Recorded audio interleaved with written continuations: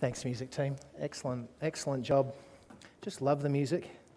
Um, sometimes when you, you, you're um, going to preach, you feel like you're carrying a pile of plates. You've done that, you're carrying a pile of plates, and you think if someone bumps you, they're all going to fall on the ground and you're going to forget everything. And um, it's just nice to be able to come in and, and glorify God together and have Him lift our hearts up and um, focus the preacher as well. Um, let's turn to Zechariah 3. Zechariah 3. This morning, we're going to look at how God restores a priest. How God restores a priest. This is a passage that's kind of gripped my heart recently, and um, I just love it. And I think uh, it's, it's appropriate too to what we're studying in Mark. As we keep bumping into Israel there, as we keep bumping into the law there, as we keep bumping into the Pharisees there, it's good for us to get some more context on Israel. So, Zechariah 3. We're going to do the whole passage uh, this morning. Let's read it together. So, just to give you context, there's been an angel showing, uh, showing Zechariah around and talking to him. And this is the he that's spoken of in the first part here. Then he showed me Joshua, the high priest, standing before the angel of the Lord, and Satan standing at his right hand to accuse him. And the Lord said to Satan, The Lord rebuke you, O Satan. The Lord who has chosen Jerusalem rebuke you. Is not this a brand plucked from the fire? Now Joshua was standing before the angel, clothed with filthy garments. And the angel said to those who were standing before him, Remove the filthy garments from him. And to him he said, Behold, I have taken your iniquity away from you, and I will clothe you with pure vestments. And I said, let them put a clean turban on his head. So they put a clean turban on his head and clothed him with garments. And the angel of the Lord was standing by.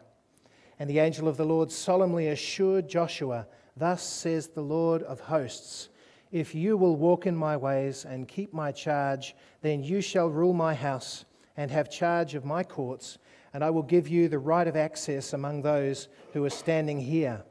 Hear now, O Joshua, the high priest you and your friends who sit before you, for they are men who are a sign. Behold, I will bring my servant the branch. For behold, on the stone that I have set before Joshua, on a single stone with seven eyes, I will engrave its inscription, declares the Lord of hosts, and I will remove the iniquity of this land in a single day. In that day, declares the Lord of hosts, every one of you will invite his neighbor to come under his vine and under his fig tree. Let's pray. Father, thank you for your word. Thank you so much that you've uh, revealed these things to us, that we can look at what you've shown us here and take tremendous courage, tremendous encouragement, tremendous joy in the, the love that you've shown to Israel. And Father, we pray that we would see that in our own lives. We would see that you are not a God who runs out of patience with the people that He's called. Father, please work in us this morning Bless us as we look at your word together this morning. In Jesus' name, amen. So, before jumping into chapter 3, we need a bit of historical content and some, uh, context, and some of this you'll already be familiar with. You know, of course, that Israel was chosen to be a priestly nation, a priestly nation.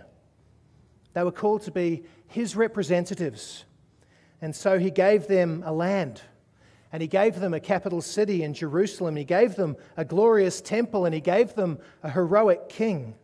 And the idea was that they would shine out, that they would be different, and that pagan nations would be attracted to that difference and they would come and see the one true God amongst the people of Israel. We see this in Exodus chapter 19. I'll just read it to you from verses 4 to 6. You yourselves have seen what I did to the Egyptians and how I bore you on eagle's wings and brought you to myself. Now, therefore, if you will indeed obey my voice and keep my covenant, you shall be my treasured possession among all people, peoples, for all the earth is mine. And you shall be to me a kingdom of priests and a holy nation. So, this was God's desire for Israel. And He gave them all that they need, all that they needed to carry that, that out. And it, it lasted for a while. It lasted for a while. Under David and Solomon's reign, the kingdom was enlarged, the glorious temple was built, and to some degree, Israel followed God and honored him and became an example to the people around them. But after Solomon, the kingdom split in half. The kingdom split in half into the northern and southern kingdoms. The northern kingdom based around Samaria, and the southern kingdom based around Jerusalem. The northern kingdom was a spiritual disaster from the start, and it carried on pretty much unencumbered in that until the point where God said, I've had enough. And he was, they were taken away by the Assyrians and they were basically destroyed. The southern kingdom uh, around Jerusalem had many spiritual high points, but even they eventually succumbed to widespread idolatry. And God disciplined them. He didn't destroy them, He disciplined them. He sent them into exile under Babylon. But even as He was sending them, he was giving beautiful prophecies under the prophet Isaiah. They will come back. He will bring them back. And he even mentioned the name. You might have heard a, a few weeks back, we saw this in one of the sermons that was preached. Mentioned the name of Cyrus, who wasn't born yet, who was going to be the king under whom they would be brought back. But he disciplined them. And they were away for 70 years 70 years of exile. And then after that, God did what he always does exactly what he said he would he brought them back under a leader called uh, Zerubbabel. If you guys are familiar with the Walk Through the Bible and Talk Through the Bible series, they call him Zerubbabel. Um, but Zerubbabel, they have these memory tools they use on the way through. This happened in 538 BC. 538 BC. And what they came to was very different from what they expected. What they came to was very different from what they expected. They came back to hard work and they came back to opposition when they came back to the land. They came back to what the prophet calls the day of small things. You'll see that in chapter 4 of Zechariah. The nation was small, smaller than it was before. The land was small, smaller than it was before. Even the t- temple uh, that was going to be built was small. From this point on, they were going to be a subservient kingdom, a subservient kingdom. And they were paying high taxes under Darius the Mede. So they were not the glorious Israel of days gone by. It's interesting. God forgave them, God brought them back, but didn't, He didn't bring them back to the same thing. They were not the glorious Israel of before. They'd forfeited so much of what God had given to them. So the exile wasn't the only consequence for, of their sin. They had to come back and build from scratch again in the face of tremendous opposition. And under these very trying circumstances, they fell into discouragement. And you know, it's so often the case when we, when we focus on our need, when we focus on the hard thing that we're going through, we neglect the Lord, and when we neglect the Lord, we just look after ourselves. And this is what these people had fallen into. They said, Well, I guess we'll just do our own thing. I guess we'll just look after ourselves. And so, 18 or 20 years after they came back under, under Zerubbabel, God brings two prophets into the scene. Two prophets. One was Haggai and one was Zechariah. And with Haggai, they got, you'll notice it's a short book. They got an earthy, practical, concise kind of come on that he, that he spoke to these people.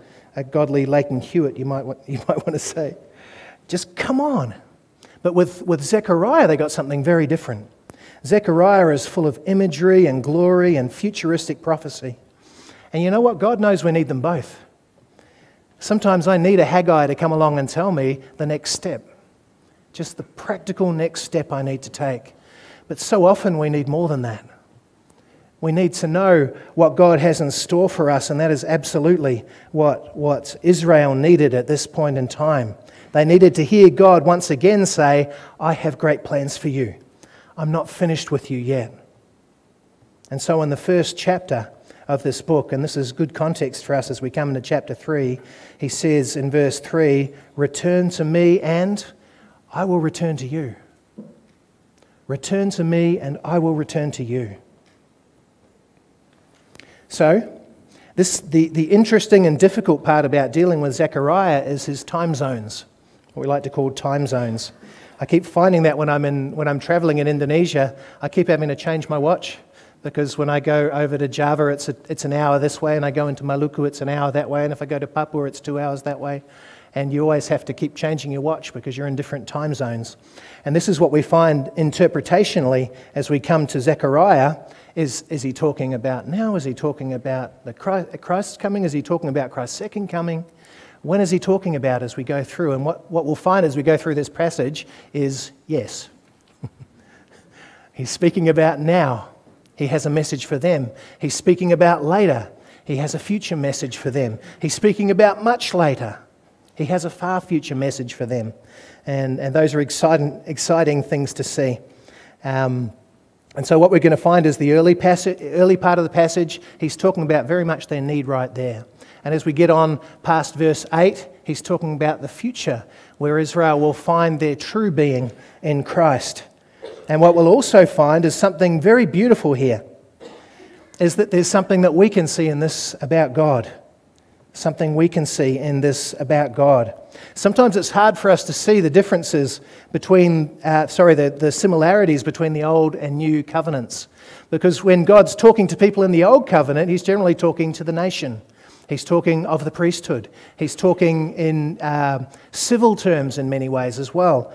Um, and so when we look at the new covenant, when he's talking about a spiritual body made up of individuals, it can seem like a big change.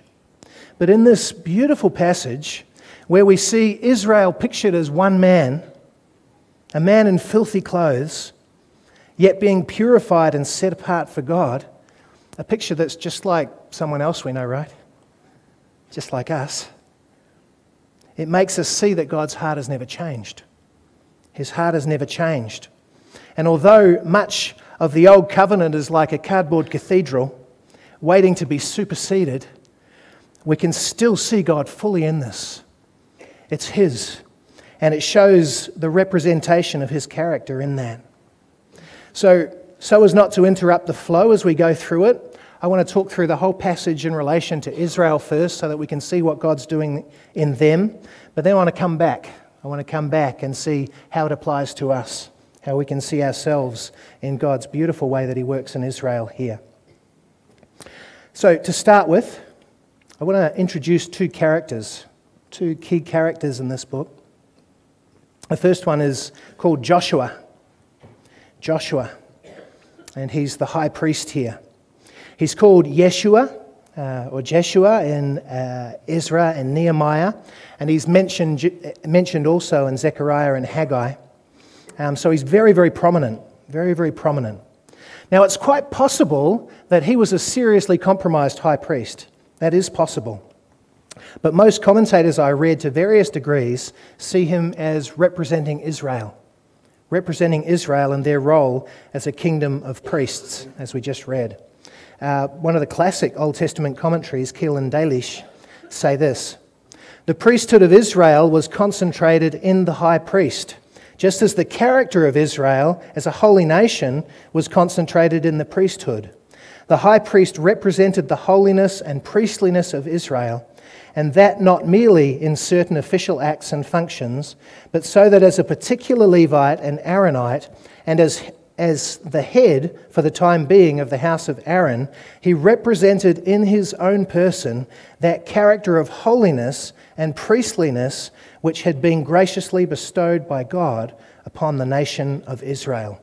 So, as we go through this, we'll be speaking of Israel rather than Joshua most of the time, seeing him as representative of God's work in Israel.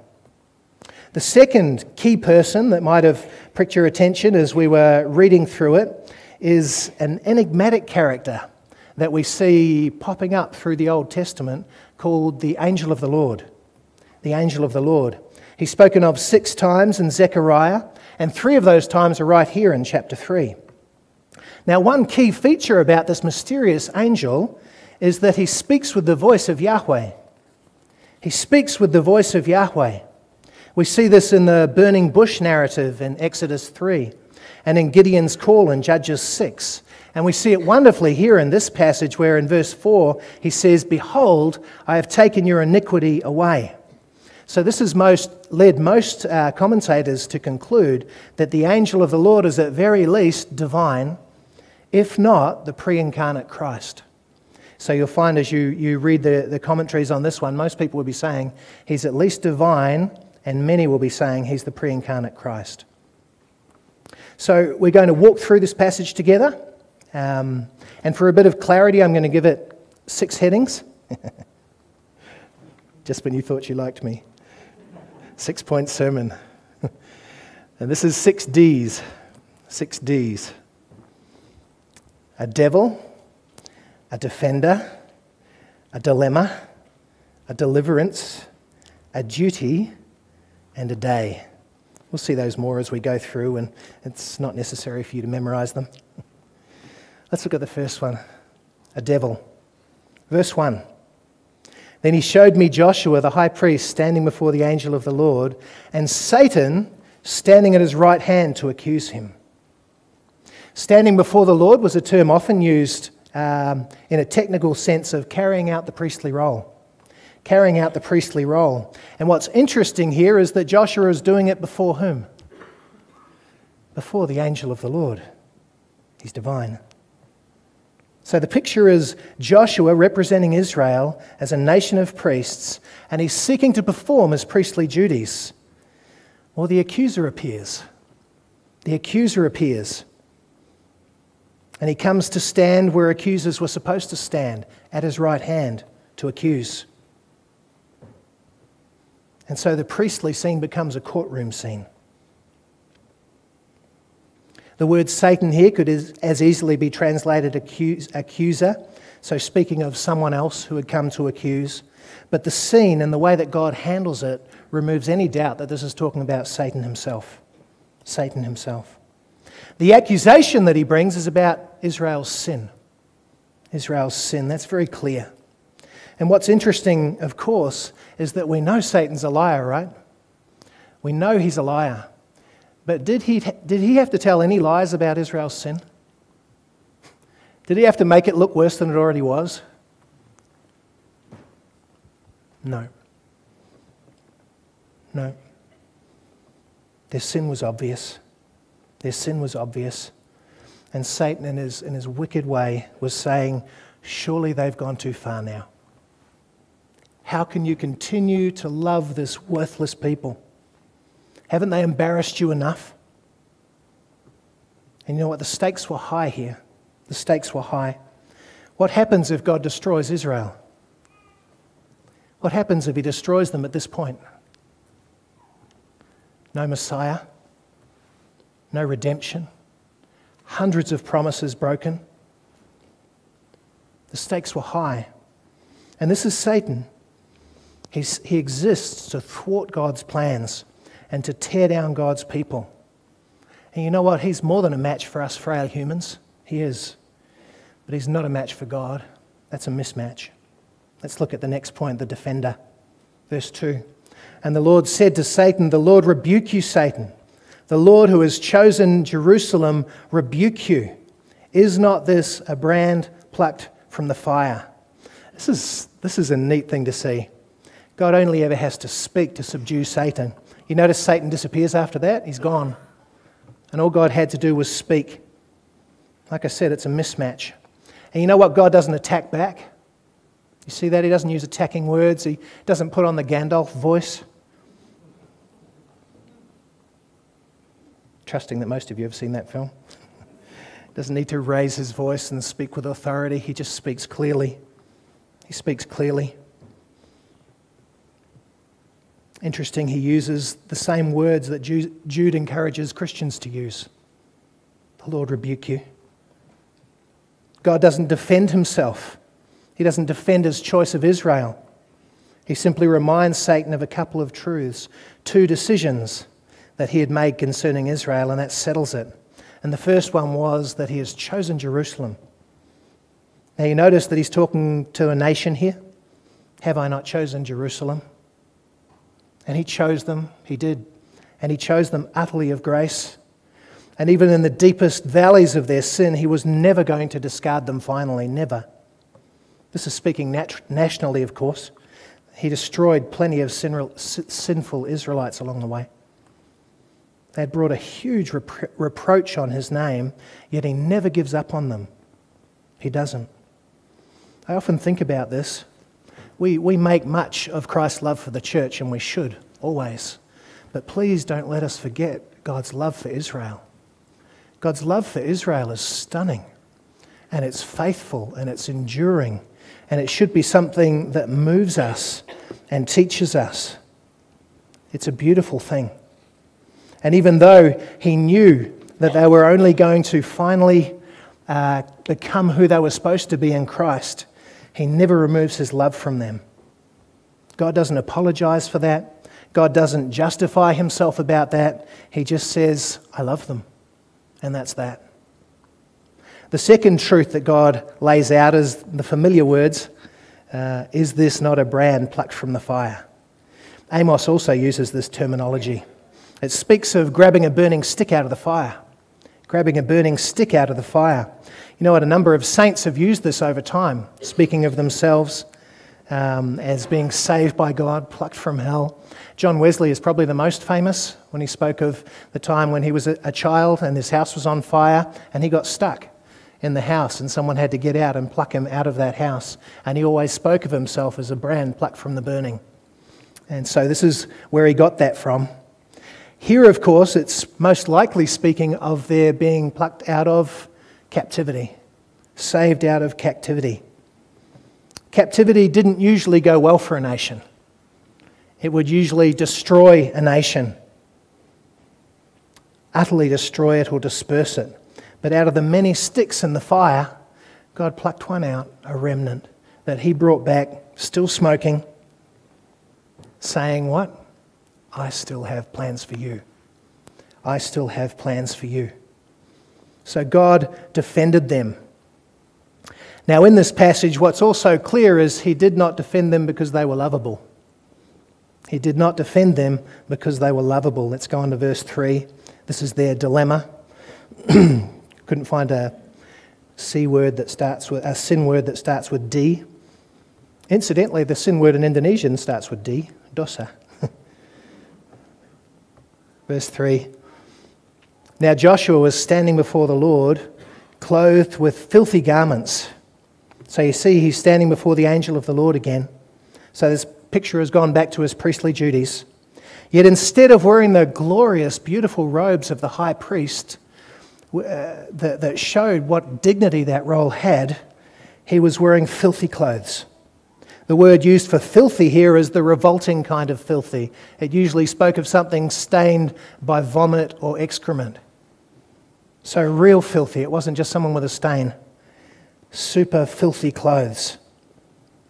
And you'll notice in verse 4 that these clothes are a picture of his sin. And like I said before, their sin is undeniable.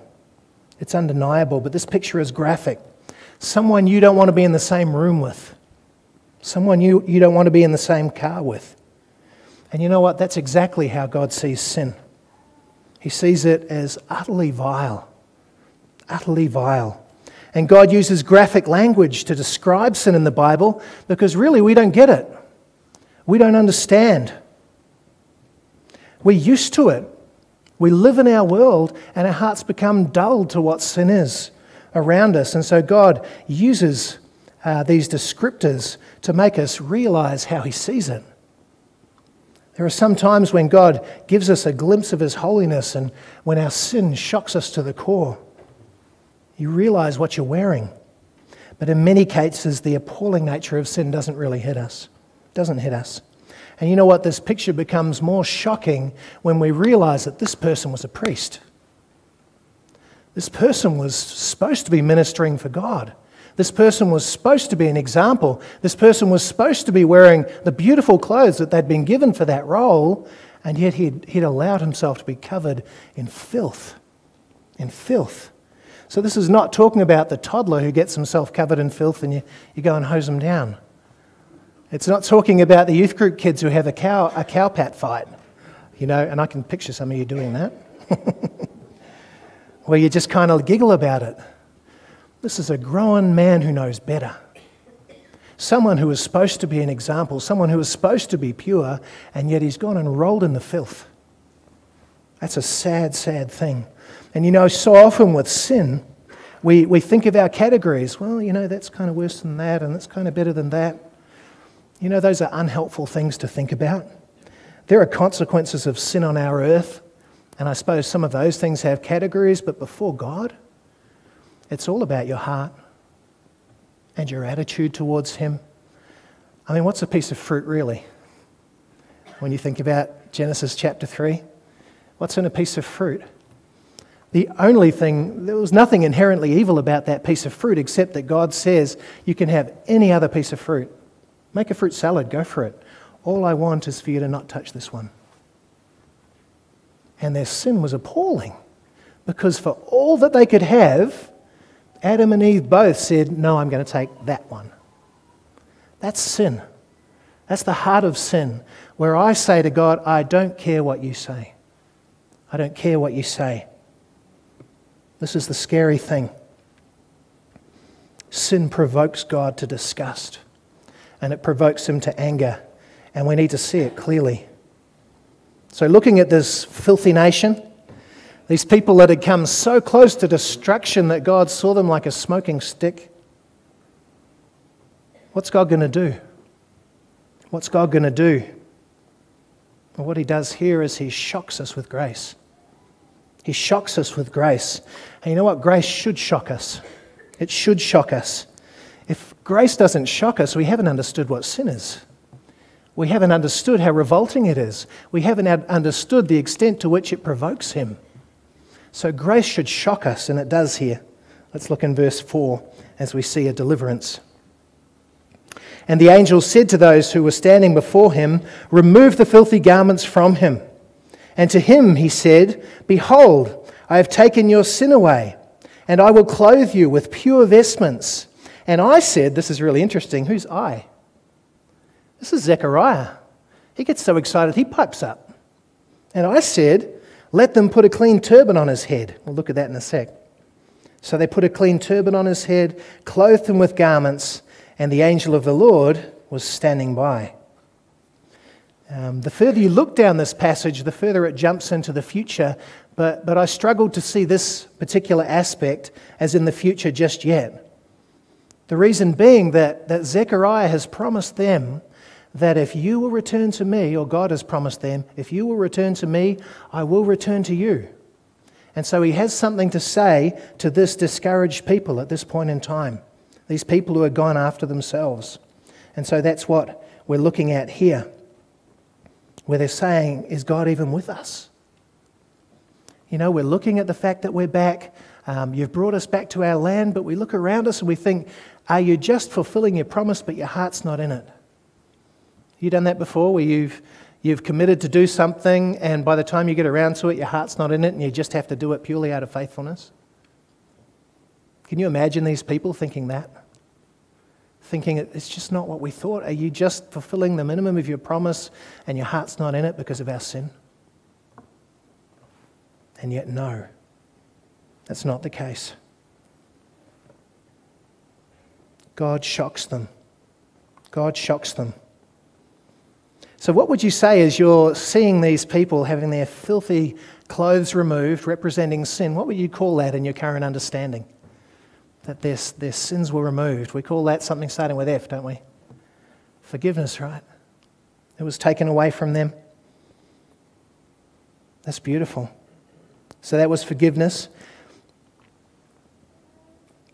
Sorry, I just jumped down to the wrong spot there. But he doesn't stop there. He doesn't just remove the clothes. He commands that new, pure, beautiful garments be put on Joshua. And again, this is where Zechariah pipes up. You see him there? Don't forget the turban. Don't forget the turban. As if God was going to forget the turban. He interrupts him. You know why this is? Zechariah was a priest, he was from the priestly family, and he could see what God was doing he could see that these were priestly robes. He could see that they were priestly robes that he was putting back on. And he says, Don't forget the turban. You might remember that the turban had a plaque on it that said, Holy to the Lord, pure and set apart for Him. And so the removal of the soiled clothes represented forgiveness. With your New Testament understanding, and this is not the New Testament, so don't think I'm twisting it that way. With your New Testament understanding, how would you see the fact that the forgiveness happens, but then he gets brand new clothes and a new commission? What would you see that as described by a New Testament word? Someone saying justification? Isn't that amazing? Seeing the similarity of God's character and his heart and his desire and how he deals with sin stained people in the Old Testament too, to some degree. True justification only happens through Christ, but we can see God's heart here. Um, yeah. What we need to focus on here is the riches of God's grace to these people. And this brings us to something else, something again that's clearly taught in the New Testament. Let's look in uh, verse 6 at their duty. And the angel of the Lord solemnly assured Joshua, Thus says the Lord of hosts, If you will walk in my ways and keep my charge, then you shall rule my house and have charge of my courts, and I will give you the right of access among those who are standing here. This is interesting. With a new gracious commission came a call back to their role as the priestly nation spelt out in terms of the actual priesthood. They were totally forgiven. They were totally forgiven. They were standing there in beautiful, shining, bright clothes, but they were not free to do what they wanted. They were not free to do what they wanted, either in their life or in their ministry. And this is what we see in the if then construction. Can you see it here? If you will walk in my ways, then you will become. If you will walk in my ways here refers to wholehearted obedience to their God. Wholehearted obedience to their God. Keep my charge as we go further down. This refers to carrying out their priestly duties as the Lord had set out. It was his charge. It was his charge to them. And if they did this, well, then he would, they would be given responsibility over the temple and over the courts and have access to God Himself. So, ruling over the temple is, is the running of the temple, which the priests did. Ruling over the courts was keeping the temple courts pure from anything idolatrous. You might remember Jesus doing this when the priests were failing a few hundred years later over the courts. And the last one here, look at this right of access among those who are standing here. Who was standing here in the vision? We have the angel that brought Zechariah, was showing him around. We have the other angels, remember the ones that removed the clothes from them? And we have the angel of the Lord. The angel of the Lord. They had access. They had access. And this is what brings us back to chapter 1 and says, where, where, where he says, Return to me and I will return to you. I will return to you. When God said that, he wasn't lying. God forbid. He gave them a real promise and they could stand on it. Return to me and I will return to you. If they would repent, they would again have access to him as their God. Now, we're at the time where we're about to jump into the future. Think with me for a minute. God knows the future, right? I don't need to say that. He lays out the future. He gave Israel a fresh start. He gave them a chance. He promised that if they would return to Him, He would return to them. But let me ask you what, what else was going to happen after this? Could He say to them, Everything's going to be great from now on? You guys are going to walk with me from now on? Was there greater sin behind them or in front of them at this point in time? Around 500 years before Christ. Was there greater sin behind them or in front of them? In front of them, they would never go back into idolatry again. Not the kind of idolatry they committed at that time, but they were going to kill the Son of God. They were going to kill the Son of God. And so when God wanted to give them hope, he, he jumped way into the future. He jumped way into the future because these people were going to throw off his authority again and do something horrific. So when God's going to give them real encouragement, solid encouragement, he had to do it way in the future. Let's look at verse 8 here. A day. Hear now, O Joshua, the high priest, you and your friends who sit before you, for they are men who are a sign. Behold, I will bring my servant the branch. For behold, on the stone that I have set before Joshua, on a single stone with seven eyes, I will engrave its inscription, declares the Lord of hosts, and I will remove the iniquity of this land in a single day. In that day, declares the Lord of hosts, every one of you will invite his neighbor to come under his vine and under his fig tree. So Joshua and his friends are undoubtedly priests. Priests. What were they a sign of? What was it that these priests were foreshadowing that was related to this branch who was Messiah? That'd be the great high priest, wouldn't it? The great high priest. And God reminds them that he's coming. The Messiah here is spoken of as the branch, which was Jeremiah's and to some extent Isaiah's language. This is familiar language to them. And you remember the threefold office of Christ? This Messiah was going to be the divine prophet, the final authority as a king. And he was going to be the ultimate priest. He was going to lay down his life as an all sufficient sacrifice.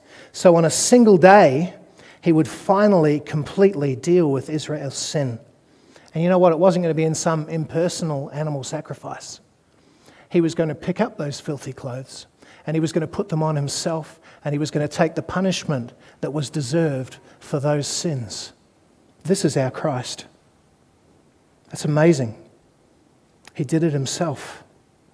I think the stone here is most likely referring to the same Messiah.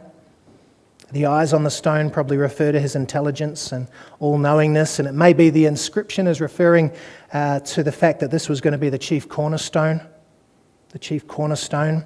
But, but really, it's a mystery. It's a mystery, and we trust the Lord's going to make it clear. And rather than get bogged down in those mystical details, we don't want to miss the point that this is Jesus. This is Jesus.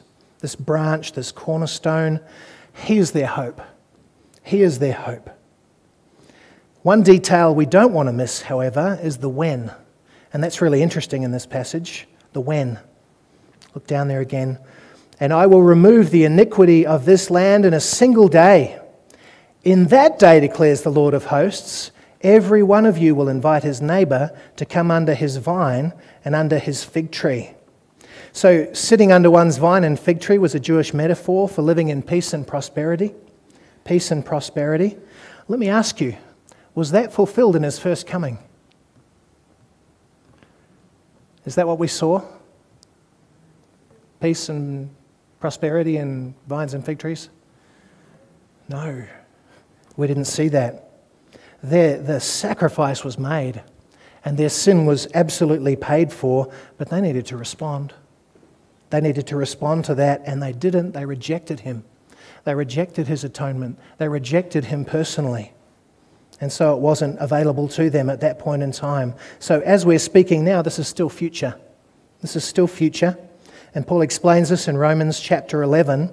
And if you just flick with me over to Zechariah chapter 12, Zechariah chapter 12, I want you to see something there. This is a stunning passage. Stunning passage. Zechariah chapter 12. God speaking. Verse 10.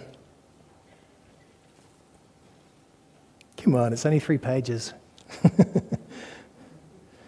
God says, And I will pour out on the house of David and, uh, and the inhabitants of Jerusalem a spirit of grace and pleas for mercy, so that when they look on me, on him whom they have pierced, they shall mourn for him as one mourns for an only child, and weep bitterly over him as one weeps over a firstborn. It goes on to express uh, the great grief the whole nation will feel when they realize what they've done. And then in verse 1 of chapter 13, look, look there, we read, On that day there shall be a fountain opened, fountain opened for the house of David and the inhabitants of Jerusalem to cleanse them from sin and uncleanness. This is, this is again stunning. Stunning. There's a time that's still future when God will again draw their hearts to Himself sovereignly. You see how He's going to do that in that passage there? But this time He's going to call them to the all sufficient sacrifice, the everlasting high priest. Now, just stop there for a second. Isn't God's love for Israel incredible? Isn't His love for Israel incredible? thousands of years of rejecting him, and he still says, I love you and I'm not giving up. Wow. That should encourage us, shouldn't it? God, are you patient enough for me? Oh, yeah. oh, yeah. This is amazing. And this is beautiful for us to look at again as we see ourselves here and we see, Jeru- uh, see, see Israel uh, pictured as one person. This reminds us of ourselves reminds us of ourself. Let me ask you is there still a devil? Has he changed? Has he changed? Does he accuse you? Remind you of your sin? Two and a half thousand years, he still wants to destroy God's plans, and God has wonderful plans for you to shine for Him, to love Him, to joy in Him, to rejoice in Him. what happens when all you do is think about your sin? Just a moping believer because you're listening to His voice. You're listening to His voice. The devil's still around. Let me ask you do you have a defender? Oh boy, you have a defender. You have a defender, this same God.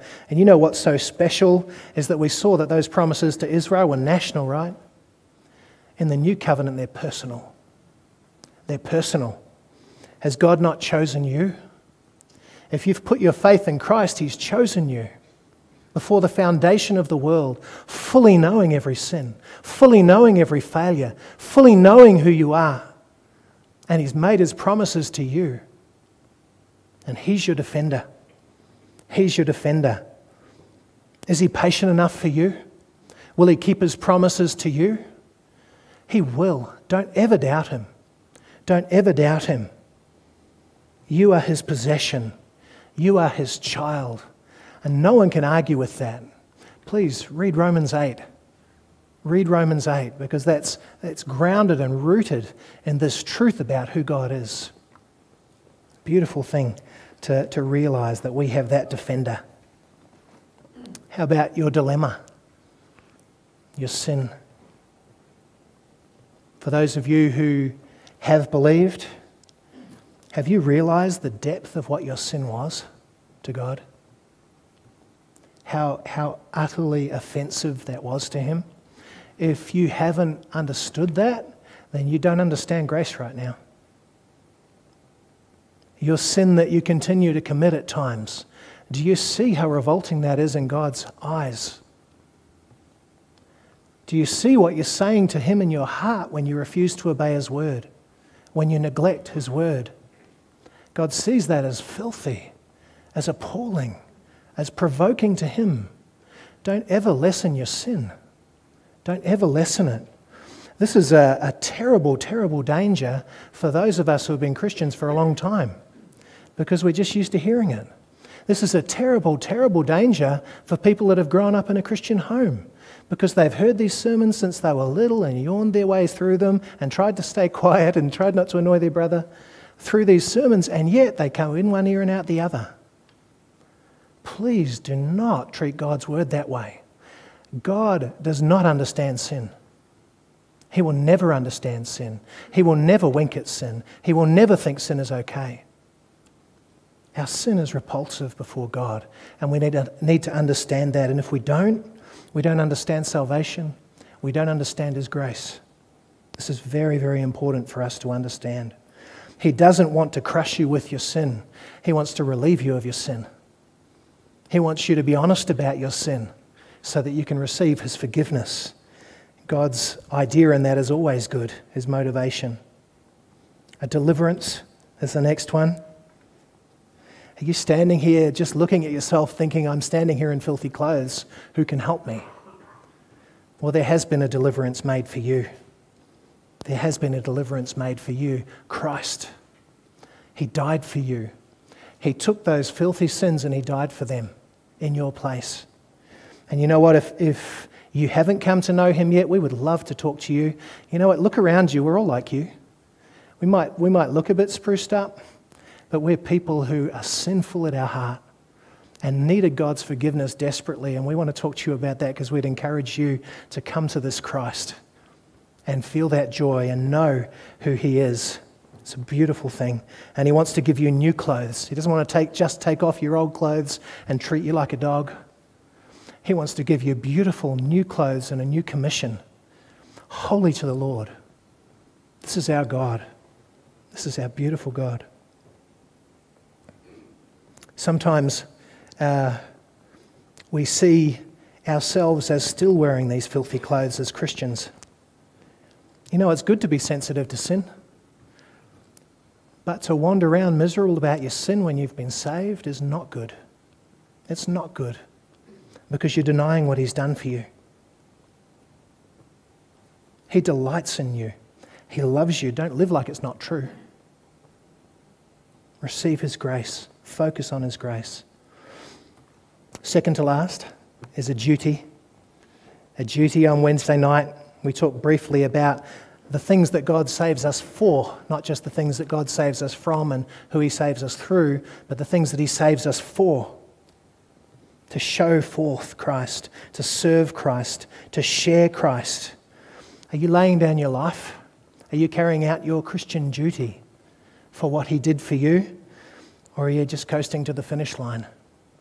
I had a guy call me this week, an older man, and he's just wanting to know our prayer points, wanting to pray for us. And you know what I thought? What a beautiful way to end your days, using that strength that you have left to serve Him in the way that you can when your body's going. You can still pray. Isn't that beautiful? He's called you to be His priest. Can people see that? Can people see that in your workplace? Or are you being drawn to the nature of the other peoples around you, like Israel were? So that people can't see a difference anymore. God wants to do that in you as well. He's called you to be his priest. Be his priest. I'm not going to stretch, talk about the day. because the day that was talking about being talked about there is not actually the final day. It's a day that's already present for us, where Christ would die for their sins, and He has died for our sins. And that's fantastic, isn't it? Don't we have an amazing God? Let's, let's pray together. Dear Father, thank you so much for your word. Thank you that we can see you in it. And although sometimes our, our human mouths bumble through things, Lord, help us to see what you're saying in this passage. Help us to see the beauty of your character. Help us to see the riches of your long suffering and your grace. Help us to see the revoltingness of sin, Lord. Help us to be disgusted by it, Father. Help us to be convicted for it. And Father, let us see the riches of your grace and your loving kindness in Jesus Christ that raises us up and seats us with Christ in heavenly places, that adopts us, that makes us beautiful when before we weren't. Father, help us to rejoice in these truths. And help us, Lord, to be your priests. We know we already are, but we want to look like it, Father. We don't want to be dressed in filthy clothes as your priest. We don't want to be so compromised in our life that people don't even know we're a Christian or they speak about us behind our backs saying, if that's what a Christian is, I don't want to know it. Father, please, please convict our hearts that we may walk with you, that we may lay down our lives for you, that we may serve you as you deserve. In Jesus' name we pray. Amen.